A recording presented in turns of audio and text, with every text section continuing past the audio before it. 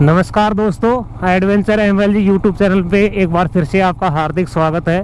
और आज है डे थ्री हमारे राइड का, बीकानेर राइड का। और ये सामने आप देख रहे हो सनराइज होते हुए, हमने पिछले ब्लॉग में आपको सनसेट होते हुए दिखाया था। कितना खूबसूरत नज़ारा है भाई। ऐसे लग रहा है जैसे पृथ्वी के गर्भ से सूर्य निकल रहा हो, क्योंकि यहाँ पर पहाड़ वूड़ कुछ है नहीं। बिल्कुल समतल जगह है। और देखो ये सामने से आप। भाई साहब, वो सम वाले नज़ारे हैं। यहाँ के लोग भी इतने अच्छे हैं, यहाँ की क्लाइमेट भी बहुत अच्छा है, यानी प्रत्येक चीज़ घूमने के लिए तो भाई लाजवाब है। मन ही नहीं करता यहाँ से निकलने के लिए। धोरों वाली धरती है, देखो दोनों तरफ़। तो दोस्तों, ये है कोलायत झील।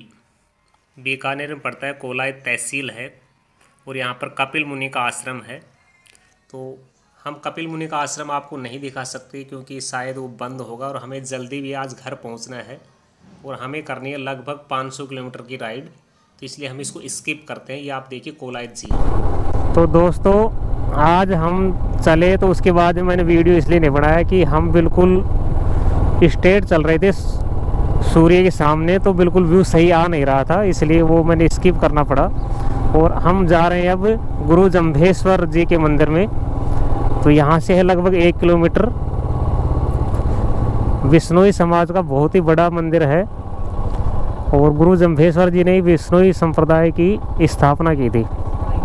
तो ये है मंदिर। पार्किंग, नो पार्किंग किधर है? तो ये है गुरु जम्भेश्वर जी का भव्य और सुंदर मंदिर। संगमरमर से बना हुआ है और बहुत ही खूबसूरत मंदिर है। यदि आप कभी बीकानेर या राजस्थान में आते हो और इस साइड में भी आते हो तो आपको ज़रूर देखना चाहिए। बहुत ही खूबसूरत मंदिर है। मैं एक बार फिर से आपको व्यू दिखा देता हूँ बाहर से। अभी दो तीन दिन पहले रिसेंटली खुला है ये तो साफ़ सफ़ाई का काम चल रहा है अभी। तो दोस्तों, मंदिर था बंद, बड़ी रिक्वेस्ट के बाद में अंदर दर्शन कर पाए और अंदर वीडियोग्राफी ये सब कुछ अलाउ नहीं है। यहाँ से एक बार फिर से आपको व्यू दिखा देता हूँ। तो बाहर से ही परमिशन लेके परमिशन लेके बाहर से ही फ़ोटो और थोड़ा सा वीडियो बनाया है। क्योंकि मंदिर बंद है, हो सकता है इस वजह से वीडियोग्राफी बंद हो या फिर वैसे ही बंद है, पता नहीं। लिखा हुआ तो कहीं है नहीं वह वीडियोग्राफी बंद है। लेकिन जो भी है, ठीक है। तो ये था विष्णोई समाज के संस्थापक गुरु जम्भेश्वर महाराज जी का बहुत ही भव्य मंदिर। और विष्णोई नाम इसलिए पड़ा संप्रदाय का कि उनतीस नियम बनाए ट्वेंटी नाइन बीस, नो। तो इसलिए बन गया विष्णोई तो अब चलते हैं हम सीधे समराथल धोरा। बहुत ही फ़ेमस जगह है, वहाँ पर है क्या? ये वहाँ चल के ही पता चलेगा। अभी तक तो हमें बज्जू से चलने के बाद में कहीं धोरे दिखाई दिए नहीं। सूर्य देवता ज़रूर दिखाई देते हैं, बिल्कुल सामने इसी वजह से मैं पहले ब्लॉग नहीं बना पाया। तो दोस्तों, ये है समराथल धोरा। धोरा यहाँ पर राजस्थान में कहते हैं, जो रेत के जो टीले होते हैं, उनको यहाँ पर राजस्थान में धोरे कहते हैं। तो अभी यहाँ से लगभग एक डेढ़ किलोमीटर है समरातल धोरा। विष्णोई समाज के लिए ये जो जाम्बो जी, जम्भेश्वर महाराज जी है, उनका मंदिर है शायद। मुझे कंफर्म नहीं है कि सम्रातल क्योंकि मुकाम में जहाँ हम जाके आए, वहाँ कंफर्म था कि जम्भेश्वर महाराज एक मंदिर है, यहाँ भी मंदिर है। अब यहाँ देखते हैं कि मंदिर किनका है और वहीं चल के आपको नज़ारे दिख रहे हैं। भाई, दूर से जब देख रहा हूँ मैं तो बहुत ही ब्यूटीफुल और सुंदर नज़ारे दिख रहे हैं। बाकी हम अंदर चल के ही देख पाएँगे कि वहाँ पर है क्या। बताते हैं कि वहाँ एक तालाब है, वो है या नहीं है, देखते हैं। गुरु जम्भेश्वर गौशाला संस्थान। ये देखो, सामने धोरे। तो हम पहुँच गए हैं सम्राथल धोरा। यहाँ भी मंदिर गुरु जम्भेश्वर जी का ही है। तो अभी आपको ऊपर चल के दिखाता हूँ चारों तरफ़ के नज़ारे।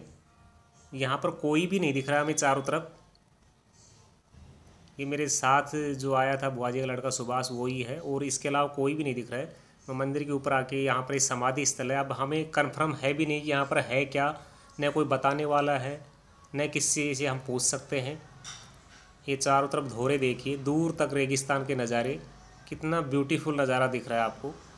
तो दोस्तों, यदि वीडियो अच्छा लगे तो आप सब्सक्राइब कर सकते हैं। लाइक भी कर सकते हैं। यदि अच्छा नहीं लगे तो डिसलाइक भी कर दीजिए। लेकिन मेरी मेहनत को इग्नोर मत कीजिए। ये देखो, संगमरमर से बना हुआ मंदिर है, बहुत ही साफ़ सुथरा है। लेकिन यहाँ पर बस परेशानी ये हुई हमें कि यहाँ पर कोई है नहीं बताने वाला, पूछने वाला। तो है, लेकिन बताने वाला कोई नहीं है। किससे पूछें, क्या हिस्ट्री है, क्या नहीं है? तो उसके लिए भाई माफ़ी चाहता हूँ आपसे।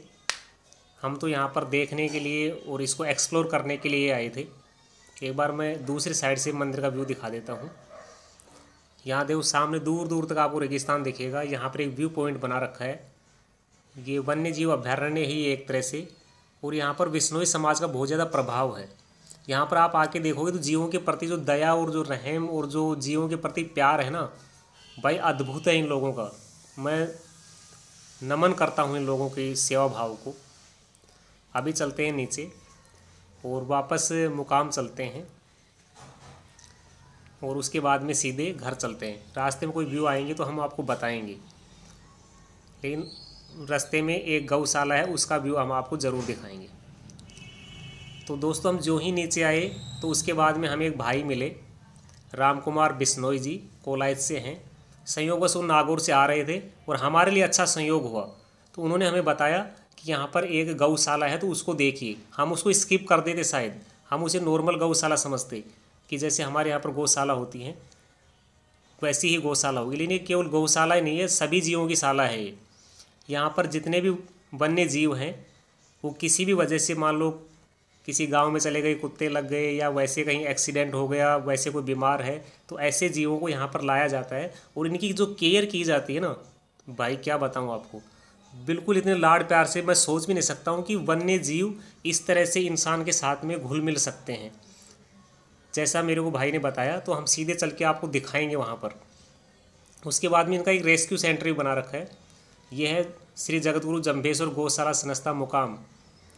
भारतीय विष्णोई महासभा इसका संचालन करती है। तो मैं तो अपील ये भी करूँगा लोगों को, यहाँ आसपास रहने वालों को, यदि आप भी यहाँ आते हो तो अपना सहयोग दीजिए कुछ भी। सरकार से मैं अपील करना चाहूँगा कि ऐसी जगहों को आर्थिक मदद दीजिए। अब ये देखिए, वन्य जीव हैं ये। बिल्कुल कितने आराम से खुले घूम रहे हैं। इंसान के साथ से इनको कोई प्रॉब्लम नहीं है, क्योंकि यहाँ पर इनको बहुत ज़्यादा प्यार मिलता है। यहाँ के जो कर्मचारी हैं, उनको मैं बार बार धन्यवाद देना चाहता हूँ। पूरे विष्णोई समाज को मैं धन्यवाद देना चाहता हूँ कि जीवों के प्रति जो प्यार आपका है और हम सभी मानव समाज को इनसे, इनका अनुसरण करना चाहिए विष्णोई समाज का इस मामले में। ये देखो बिल्कुल कैसे बैठे हुए हैं। जैसे घर में भेड़ बकरियाँ बैठी होती हैं। ये देखो यहाँ पर मोर हैं, जो किसी वजह से तारों में उलझ के या वैसे एक्सीडेंट अवस्था में यहाँ पर आते हैं, उनकी भी यहाँ पर केयर की जाती है। ये यहाँ पर बहुत बड़ी गौशाला है एक। देखो कितने सारे गायें हैं। इनकी पूरी अच्छी व्यवस्था है। खाने की, रहने की, बैठने की, ये सारी बहुत अच्छी हो। देखो आप यहाँ पर देख सकते हो। ये भाई राम कुमार बिश्नोई जी है जो इन्होंने, जिनकी वजह से हम ये देख पाए। तो भाई राम कुमार बिश्नोई यदि ये वीडियो देख रहे हैं तो उनका बहुत बहुत धन्यवाद भाई। ये देखो यहाँ पर एक गाय आई है जो उठ नहीं पा रही तो इसको उठाने की कोशिश कर रहे हैं सहारे से। ये देखिए हिरण है। इतना घुल मिल गया है इंसानों में, देखो। कितनी मस्ती कर रहा है, नहीं तो इंसानों को देखकर भागते हैं ये। ये देखो कैसे मस्ती कर रहा है। इनके प्रति प्रेम देखिए, इंसानों के प्रति। और यहाँ के लोगों का प्रेम भी बहुत ज़्यादा है। ये रेस्क्यू सेंटर है। यहाँ पर जो छत विकसित आते हैं, एक्सीडेंट आते हैं, यहाँ पर देख रहे होगे, बिल्कुल घायल अवस्था में है, लेकिन दिखाना ज़रूरी था। इनका प्यार और प्रेम देखिए। घायल जितने भी वन्य जीव होते हैं, उनको यहाँ पर लाया जाता है, उनका रेस्क्यू किया जाता है। जब ठीक होते हैं तो दूसरे कमरे में शिफ्ट किया जाता है और अच्छी तरह जब ठीक हो जाते हैं तो फिर इनको गौशाला में शिफ्ट किया जाता है। तो मैं सरकार से भी और यहाँ के आमजन से प्रत्येक व्यक्ति से अपील करना चाहूँगा इस वीडियो के माध्यम से कि इस संस्था का सहयोग कीजिए। तो अभी हम वापस दिए मुकाम। यहाँ तक भाई आए हैं हमारे साथ वो यहाँ पर दर्शन करेंगे उसके बाद थोड़ी देर बाद में जाएँगे। यहाँ से हमारे रास्ते अलग होते हैं। हम जाएँगे अपने हाँ। सीकर होते हुए। यहाँ पर भाई हमें बता ये सब बना लिया हमने बाहर से यहाँ से तो बना लिया। यहाँ का वीडियो हमने बना लिया है। बाहर से बनाया अंदर तो अलाउ नहीं किया। हाँ बाहर से बना लिया। तो भाई राम कुमार जी एक बार हाँ नंबर ले लो। पूरे विष्णोई समाज का रोड की खूबसूरती देखिए कितना खूबसूरत रोड है भाई। और अभी आपने जो देखा मुक्ति धाम मुकाम गुरु जम्भेश्वर महाराज जी का स्थल और सम्राथल धोरा जो आपने देखा हालाँकि इस समय कोविड की वजह से मंदिर लगभग सारे बंद हैं तो इसलिए मैंने बाहर से आपको व्यू दिखाया जो भी था। और उसके बाद में आपने जो देखा, यदि आप समराथल आते हो तो रास्ते के अंदर एक गौशाला है जहाँ पर हिरण और हिरण गाय, कोई भी वन्य जीव हो, आसपास के इलाके में यदि कहीं भी कोई दिक्कत होती है तो या तो लोग वहाँ पर छोड़ के जाते हैं, या फिर वो फ़ोन कर दें, और तो फ़ोन से वो वहाँ से लेने के लिए चले जाते हैं यहाँ से। और भाई विष्णोई समाज ने इस मामले में। क्या बताएँ? जीवों के प्रति और वन्य वनस्पतियों के प्रति, पेड़ों के प्रति इतना प्यार और प्रेम है कि दुनिया में ये अद्भुत है ये चीज़। किसी एक समाज का, एक प्रकृति के प्रति हम सभी को होना चाहिए। और ये ताल छापर जो गाँव है, यहाँ पे हमें हिरण दिखी। आपको कैमरे में शायद नहीं दिख रहे होंगे, लेकिन यहाँ पर तो रास्ते पे ही घूमते रहते हैं। बहुत अच्छा लगा भाई। तो भाई इस सफ़र का हमें बहुत ही ज़्यादा आनंद आया और जो लास्ट का एपिसोड जो चल रहा है अभी, मुकाम जाके तो हमें बहुत ही अच्छा लगा। तो यदि आपको भी वीडियो अच्छा लगा हो तो आप लाइक शेयर और सब्सक्राइब ज़रूर कीजिएगा। अभी हम वापस पहुँच चुके हैं सीकर और इसके बाद में जो नेक्स्ट राइड होगी, वो कुछ गैप देने के बाद होगी जब छुट्टियाँ मिलेंगी। तो यदि आपने पिछले तीन ब्लॉग नहीं देखे हैं तो आप जाके देखिए। बहुत ही अच्छी राइड हुई मेरे लिए। और इसका अंत और भी अच्छा हुआ। जिस तरह से बिश्नोई समाज के द्वारा जो गौशाला देखी है मैंने, वो अपने आप में अद्भुत थी। तो आज के लिए केवल इतना ही। मिलते हैं अगले वीडियो में नए ब्लॉग के साथ, नई राइड के साथ में। तब तक के लिए दीजिए इजाज़त। जय हिंद, वंदे मातरम। जय गुरु जम्भेश्वर जी महाराज। मिलते हैं अगले वीडियो में।